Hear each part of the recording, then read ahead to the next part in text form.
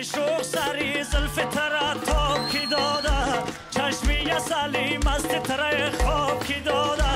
دم پشت خانه تو بخشایی انار استه بابان منو باغ ترا آب کی داده؟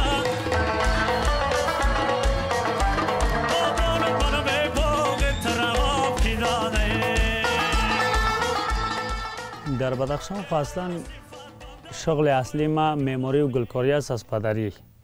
مگم چون که باز موسیقی را یاد گرفتیم و دیدیم که موسیقی خوبتر نکمیم موسیقی در محفل های عروسی دیگه پا کار می‌کردم در بدخشان.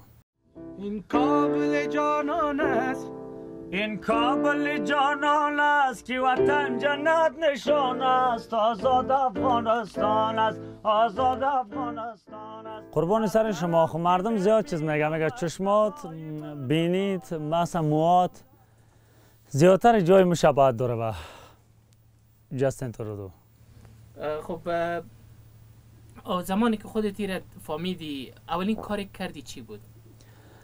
اولین هیچ تا فعلا هیچ کاری نکردم. مقصد می صفحات دیدم. بیخیم حیران خودم شدم که یه آدم اصل کردم خود مسئل کردم اما بیخیم یک چهره بودیم. دیدم یک کمی احساس که عجیبی کردم که یعنی بار دومی طرف آینه رفته یک بار خود باز چک آه؟ خب بیخی که دیدم چک کردم دیگه. گفتم سعی که که آدم بیخی ما هم گفتم شاید برادر میدان باشه. چرا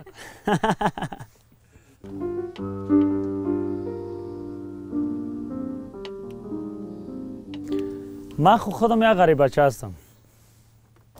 وطن من بیخی از امو جایی هستم که افغانستان شروع شده. از بسیار نقطه دوری افغانستان هستم.